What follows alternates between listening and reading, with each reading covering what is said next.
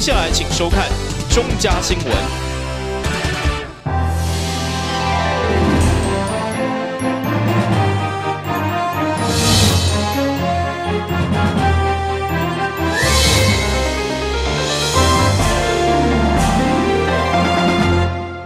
观众朋友大家好，我是蔡小军，欢迎收看中嘉新闻。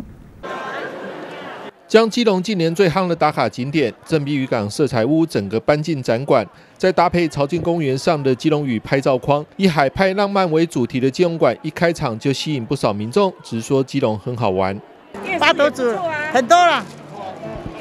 海洋馆啊，嗯，哎哎，很多地方，我我很喜欢。我那天才去基隆。和平岛，嗯。哦，还有，还有家人庙口，快去吃吃迄个好食的物件。老公都会带我去那个基隆庙口吃吃小吃。我们今年的基隆馆呢，非常的有特色，因为我们把整个的色彩屋的这样的一个造型的概念来来布置我们的展摊，同时也延续着海派浪漫的这样的一个主调哦。那把这个我们的这个打卡的，包括朝境公园这个打卡的这样的一个地标呢，也搬到这个现场来，所以现场可以看到很多人在排队哦，就是为了要打卡。不只是缤纷明亮的展馆，参展业者也都是具有在地特色的店家。像运用基隆在地元素的台湾第一家海味夹心手工蛋卷，还有由基隆青年回乡创业的手工鞋，出来让客人认识我们。因为我们平常就只有工作室，我们没有一个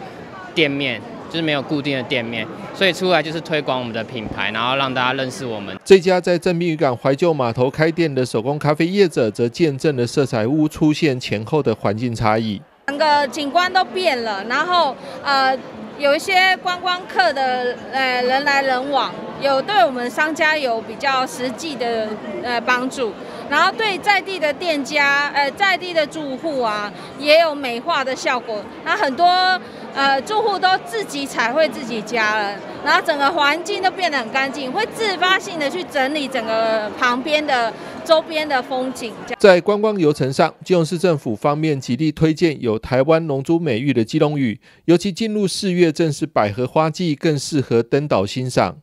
除了延续海派浪漫以外，今年最夯的就是我们的基隆屿的游程，所以我们也在现场呢来行销我们的整个基隆屿的一个亮点哦。我们希望借由这样台湾龙珠的这个称号的基隆屿这么有特色的游程，然后也让所有来参加旅展的人呢，能够呃在这个地方呢更了解基隆的游程。现场还推出旅展限定的商品优惠，最低下杀五折，满额更有好礼大方送。民众与基隆馆合照打卡，还能获得基隆限量保冷袋。有兴趣的民众可得把握机会，在春季旅展期间到基隆馆抢好康，也为自己和家人安排一趟丰富的基隆之旅。记者张启腾台北报道。从高空俯瞰，碧海蓝天，阵阵浪花打在礁岩上，基隆屿拥有得天独厚的天然环境，是雕刻最爱。而因为疫情停办一年的基隆屿基钓赛，今年原定在四月十号、十一号举办，但受到天候不佳影响，政府紧急公告比赛延至四月二十四号、二十五号举办。这个周末其实天气是好的，是出太阳的，可是其实有浪跟天气没有关系，它的浪呢，呃。瞬间的这个涌浪还是有达到快要两米哦，一米八两米。那其实相对于在登礁的这个过程是有风险的。那平常我们都都会在涌浪一米五以下才是比较安全可以上礁的。那最好是在一米到一米二三之间都还是比较呃比较理想的状态。根据统计，这次比赛总共有七十二名参赛选手，目前只有两个人因为日期无法配合，放弃参赛。因为今年首次有增加这个团体赛哈，所以其实报名的这个呃热络度非比往年都还要高。那其中有十五队的这个团体赛，然后还有二十七个个人报名。那受这一次的这个延期的影响，我们统计之后只有两个，目前只有两个人确定退赛哦。然后我们即将用候补的，那其他的像掉队的部分，不呃几乎全数都呃保留这个报名的资格。有鉴于基隆屿上个月才发生钓客在礁岩基钓不慎落海意外，造成一人死亡，当时风浪预报高达两米，为求安全起见，政府已经紧急公告延期，并通知选手安全第一。记者黄少明金融报道。车辆频繁的校东路，只要上下班时间就会出现车流，不仅左转车辆大排长龙，也让往上可以带的车辆严重回堵，甚至连大型社区微笑台北的居民车辆要进出也很不方便。到我们这个红绿灯口这段路段，其实我们平常也可以看到很多大型的一个车辆在这边进出。所以当车辆车辆大型的车辆在这边进出的时候，其实它的车速本身就会比较缓慢。所以在我们上下班的这个时段，在这边回堵的现象是非常的严重。民众抱怨回家的路很难，多次在市议会提案的市议员何淑平建议将微笑台北前的人行道退缩，让车流更顺畅。经过争取，总算获得市政府同意。目前计划退缩人行道大约两百公尺，让路幅多一个车道，来疏解车流。淑平就利用两次大会总咨询时间，然后跟市长、跟公务处长、督发处长、跟这个呃交通处长哦来研究哦，来把这个人行道哦把它退缩哦。那根据市区道路及这个设计规范哦的第一篇第八条第十条哦，当路权受阻的时候哈，可以得以调整哦路面的断面哦，那就是呃缩减这个缩小人行道是其中的。其中一条，关心工程规划进度，市议员何淑平邀请了公务处实地现场会勘。人行道退缩后，车道将会增加二点五米的宽度。工程预计在七月就会发包，年底施工完成。起气点的部分大概是在微笑台北前的挡土墙，那一路到我们的过我们的深溪路口，大约两百公尺左右的长度。那宽度的部分，我们预计拓宽一个车道，那宽度大概在两米半左右的一个道路通行环境。那人行的部分就可以利用我们微笑台北前的骑楼退缩地，可以做一个通行。过去为了解决交通打劫的问题，曾经建议打除部分的分隔岛来增加路幅，但考量双向车道行车的危险性。因此，最后决定缩减人行道，希望完工之后能够有效疏解车流围堵现象。记者黄少明基隆报道。美食林立的基隆市孝山路，由于车流量大，停车位不足，违规临停情况屡见不鲜，甚至挡住商店出入口。加上卸货区停车位不足，让两旁店家相当苦恼。我们交交通状况真的是很不好停车。我们送货的那个工厂啊，还有厂商，听到孝山路都吓死了，都不敢来，对，都不敢来。所以呢，卸货区本来是在那个那个后面那里，可是那边摩托车、银行都停得满满的，几乎都没有办法停。接获地方反映的基隆市议员童志伟特别办理会刊。首先，针对十年未重铺的路面，基隆市政府公处方面已经规划在八月施工改善。那目前在做管线整合的动作，那预计会在今年的八月左右，那进场施工。那在八月底之前，把整个孝山路的路面改善工程完成。那包含路基改良跟抛五铺五的路面改善工程，那人孔降埋相关的作业，那把整个孝山路呃恢复成完整的道路通行环境。交通方面也决定配合路面重铺工程，重新划设停车格，增加机车停车格及卸货专用停车格数量。接下来刨铺完了以后，我们交通处已经统计完，会重新划设机车位，从两百八十五格增加到三百一十四格，就是将近百分之二十的空间哈。然后也会再增加一个卸货区在孝山路前段的部分，才不会造成卸货的车辆都在并排停车。那我们当然，我们机车的秩序，当然我们还是要靠市民朋友来一起来，大家一起来努力。所以，我们接下来机车的这个大小格会统一的一个大小，然后在店家中间的这个出入口也会统一大小。所以，未来我们完成以后不会那么的混乱。另外，这一座已经失去作用的停车收费亭也将同步拆除，希望彻底改善孝山路道路环境，让临近基隆车站与国文广场的孝山路可以成为基隆观光新亮点。记者张启腾基隆报道。货柜车经过坑坑洞洞的路面，就发出扰人的噪音。这里是西二十九号码头台积物流外面的道路，常年来因为货柜车碾压坑坑洞洞，不但影响附近居民进出时的交通安全，也容易产生噪音以及灰尘污染。在基隆市议员宋伟立和庄建胜不断争取重新刨铺下，主管单位基隆港务分公司开始针对附近道路分段重新刨铺。议员们则是要求施工期间的交通安全以及工程品质一定要做好做满，未来也要把这里混乱的交通号志接着一并做改善。除了天雨路滑之外呢，坑坑洞洞，然后再用空柜的。那种噪音声，让这边的住家真的苦不堪言。我想，如果录屏，可能空柜的声音就会减少一点。那么再来就是这边坑坑洞洞呢，大家也不用可以不用使用特异功能来克服这个困难。我讲种种的，我觉得今天港务分公司也非常有诚意的，今天说已经标出出，已经标出去了这个案子啊。那标出去的话，我们就可以开始施工了。那为期施工期为三个月，对，那三个月的时候，就是说希望我们民众能够注意行的安全以及通行的安全。我相信厂商，我们刚刚有强烈要求，围篱、分际点都要做好，包含呢这个洒水车一定要进驻，因为现在都还没有施工，我相信你们都看到了，整个灰尘这是早上停的车哦，整个灰尘是这么厚，所以我想说这边的要要顾及到我们的环保。重新做研究之后，来去做这样的一个会刊，把整个工区分为四个阶段，来分区来施作，来减少交通的冲击。因为这个路口是我们基隆市哦最复杂也是最多项的一个路口，啊旁边也有民房啊也有码头业者哦来为我们台湾的经济来打拼啊，所以我们不能去影响到我们码头业者的进出的交通状况啊。与其这样，我们把它分区来施工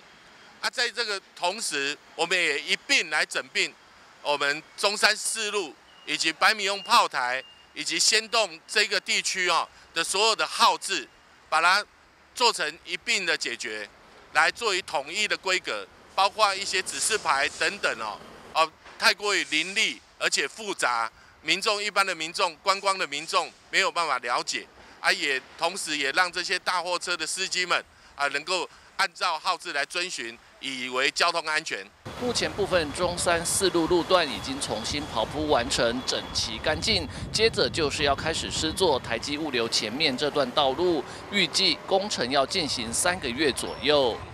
记者吴俊松机动报道。位在安乐区五岭街新山水库大门口外面有一处山沟，由于经常遭到不孝民众乱倒垃圾，导致下大雨时就容易塞住排水孔，造成淹水。更有民众担心，如果淹过路面，更可能导致在这里停车的驾驶朋友们误以为是马路，而不小心掉落淹满水的山沟里面。第一个前提，你旁边应应该有标示，因为因为好危险哦，因为我看好几次还过位了，连那落一半，那个那个再一下去，那刚好那时候那一阵子都积水，要掉下去就人命了一条了啊。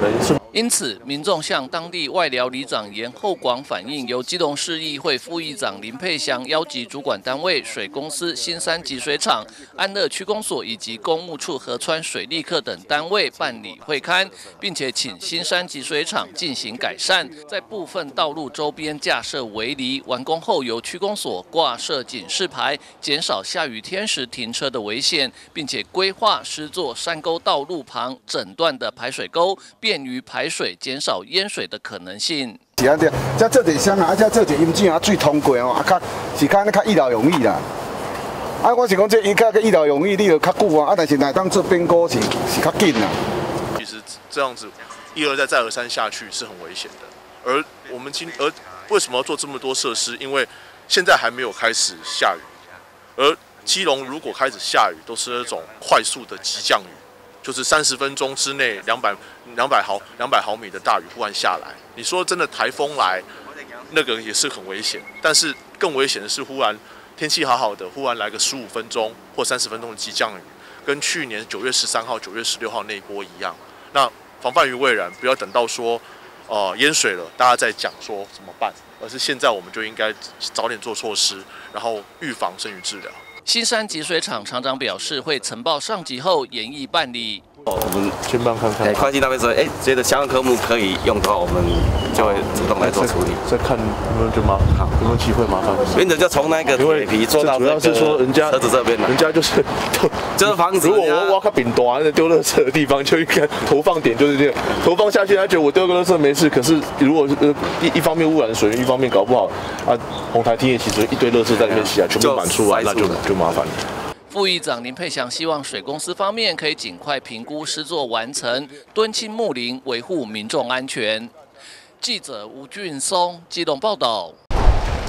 在花莲发生台铁不幸事件之后，立法委员蔡世应也相当关心基隆地区的铁路边坡改善工程的工地安全，特别赶到七堵明德一路的一个工地，与铁路局监工单位等进行讨论，并且要求施工单位一定要注意工地的安全。呃呃，我想泰鲁格号的不幸事件让国人更加重视起铁路安全的问题了哈。那其实因为在整个呃，我们这里有看到一个标题写非常清楚，就是关于这个行车改善的六年计划里面，其中有一个部分也是在我们基隆地区哈，包括八堵段跟七堵段。那所以我适应这边今天特别来到七堵段的地方来看他们整个施工的整体进度跟状况。那刚才我们公务的台北段段长讲得非常清楚，那这一段主要是因为地锚的增加，它的安全性就是等于铁轨的铺面下沉的部分，借着这个地锚的增加，增加了安全性哈。那目前他们的进度都非常顺利，原则上可能会在呃已经接近收尾的阶段，四月底或者五月就当成他们最后的完工阶段。那我也期许他们呃一定要按照规定的施工方式来运作。那刚才因为这个案子的监造也是联合大地建造公司，就是跟我们呃在泰鲁格号不幸事件发生同一下，那我也特别来要求他们说，在这个部分绝对不能够有所谓呃呃所谓的这样的一个呃漏漏失掉的一个情形哈。那他们说他们其实在这个部分会在特别的注意。那铁路局有特别来要求他们，那包括他们相关铁路局人员都现场都有在现场盯空盯着施工。那我相信就这一段的部分，应该工程会没有问题，如期如职的完成。记者黄日升基隆报道。想知道基隆市政府各单位正在推动哪些重要政策、大型活动或是社会福利措施吗？关心市政自会来节目特别邀请了产官学界来讨论各项政策最新发展，也欢迎民众表达意见，让市民可以快速掌握基隆脉动。欢迎锁定每周三晚上九点基隆第四频道，关心市政奏回来。以上就是今天的试车，我们下次再见喽，拜拜。呼。我懂得聪明选车，缴纳牌照税，我也有一套。现在只要手机下载行动支付 APP，扫描缴款书上的 QR code，就可以轻松完成缴纳。当然，其他移花方式也可以，还有多元缴纳管道，任你挑选。顺，多元管道超 smart，轻松缴纳，动起来。慈云寺的财神殿奉有五路财神、三清道祖与福德正神等。求财不运的香客相当多，每到财神爷圣诞，总是吸引大批信众来到慈云寺直角求发财龟，以祈求能够财源广进。慈云寺也提供了财神灯供信众认养。到了慈云寺，可千万别忘到财神殿参拜哦。基隆慈云寺整年度的重要庆典包括了元宵节义文活动。文昌君圣诞、观世音菩萨圣诞、浴佛节及祭孔大典等，无不吸引众多信众前来。慈云寺对于重要庆典、祭祀活动及社会服务，总是不遗余力的认真规划，也因此造就了今日历史悠久、信众众多、香火鼎盛的慈云寺。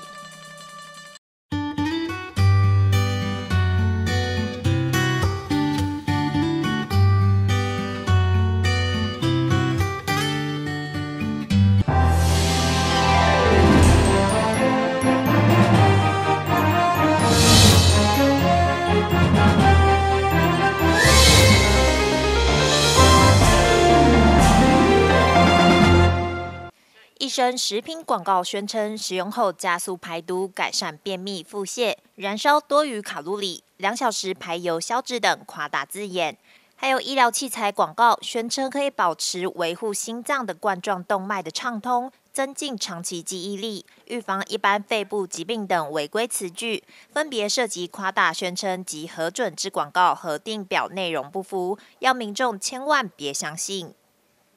那整个年度来讲的话，我们总共采罚了八百零六件的一个呃违规广告案件，那总裁罚金额是六千四百八十万五千元。啊，那我们可以看到，呃，如果以药品、食品跟呃化妆品这三类三大类来做分野的话，会发觉到去年其实呃药物的一个违规广告来讲是七十七件，但是它裁罚的金额因为它是依据药事法，所以金额相当的高哈，是两千四百二十万，占了整个。呃，财阀的罚金的百分之三十七点三，那其次是食品类哈，三百八十一件，我们才罚两千一百四十七万元。那化妆品类是三百四十八件，才罚了一千九百一十三万五千元，位居第三。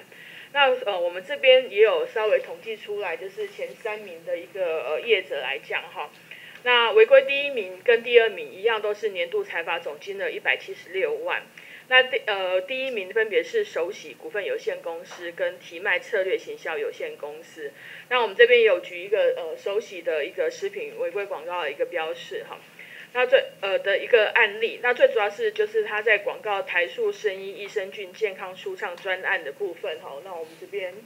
在第一个，那它是购物频道的一个部分哈。那他提到说改善疝气、改善便秘或者是腹泻状况。这部分是在食品上是所谓违规的一个词句。近年来，Facebook、Line 及各大网络平台常出现一页式网络购物广告，以低价促销，并强调货到付款取信民众。但消费者于收货付款后，发现商品与广告不符或品质低劣，要求退货时却遭到封锁，求助无门。卫生局提醒，一页式网络购物广告常无公司名称和电话，且售价明显低于市场行情，或以限时或倒数的方式吸引消费者，这些最好都敬而远之，避免日后可能产生消费纠纷。记者问俊台北报道。小孩吵闹好讨厌，给他三 C 乖乖看。现代父母时常将电子产品当作保姆抚慰孩子，但他的视力正一点一滴的被侵袭，年纪越小近视度数增加越快。在国民健康署调查的儿童青少年视力监测发现，从幼儿园到国小各年级的学生近视比率都较七年前上升，显示幼儿视力急需家长关注。那小孩子哭的时候是怎么办哈？那小孩子在哭闹，那父母亲随手就丢了一个手机也好，平板也好，那小孩子就不哭了。那爸爸妈妈觉得说，哎，这个方法很好啊。可是没有想到这样的一个随手一个动作，轻忽的一个动作，可能对于小孩子未来的视力造成非常大的影响。那刚刚提到了，我们每次都这样说，其实对家长很无助。家长也不知道怎么办才好，哦，怎么样这样的一个情况，所以呢，我们就会想说，我们找到什么样的方式是可行的，也能够提供给啊家长来照顾小孩子的时候，把这个手机或者是平板这些三 C 的产品呢，啊，能够回归到我们家长可以自主。在我们这些情境当中是有分龄的，那我们也很特别，想要借由这种分龄的故事跟妙招来让爸爸妈妈了解，说永远不会太迟。就算你的孩子现在已经已经四岁、五岁、六岁，你感觉好像啊他已经养成这个习惯，其实不会。我相信孩子最爱最爱的还是跟父母之间的相处。为了能贴近家长的照顾需求，国民健康署归纳整理最常使用荧幕产品育儿的情境，透过出版解方教导家长找到解决方法，同时也请视力模范儿童家庭来分享妙招。我们带小朋友出去跟朋友聚会的时候，那其实这我们自己家的方式，就是我们都只尽量只约以小孩子为主的地方作为我们的的社交环境。那这样子的话，我们大人可以真的是可以聊天，小朋友自己去玩他们的，我们只要眼睛视线注意好，让小朋友不要乱跑，基本上他们都在一个很安全的环境里面的话，我们就不用担心那么多。长期不正确使用三 C 产品，不仅视力产生问题，还可能影响孩子语言认知发展、睡眠品质及情绪管理，进而连带影响学习专注力。因此，要戒掉三 C 保姆，家长必须和孩童一起努力，善用妙招，助孩子远离视力威胁。记者温俊台北报道。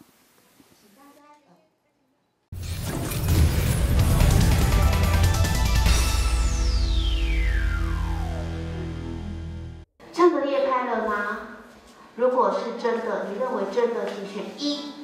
然后呢，如果错误，请选二。惊悚的台北松仁路裂开的照片，一百零八年四月十八号，因为一场地震后，在网络与赖群组上疯传，引起民众的恐慌。后来证实为未经查证的错误讯息。台北市信义国中的媒体素养课程老师特别举出这个案例，来提醒同学，收到可疑的讯息要先确认查证，绝对不要轻易的转发出去。那个裂痕呢，它其实就是一个修补路面的所填的那个胶，那那个胶是黑色的。当初拍这张照片的人，可能就是透过因为角度的关系，他在高楼上面就是拍照，所以看起来真的会很像是地面裂开，尤其是拍摄的角度。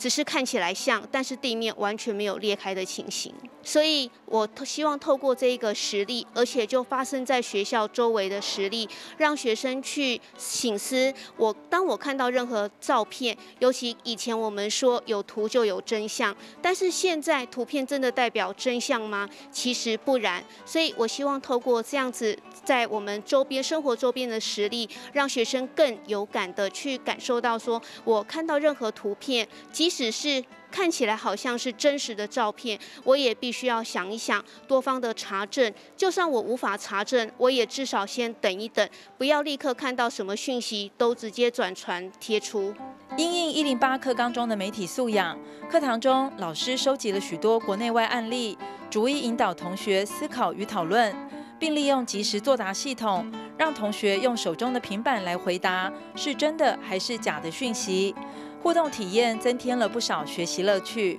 这课程可以让我们学会如何辨别真假讯息。那在日常生活中看到了讯息，我们该怎么去吸收、去筛选正确的资讯？看到讯息，然后呢，要看一下作者，然后呢，还要查证一下，或者是问老师。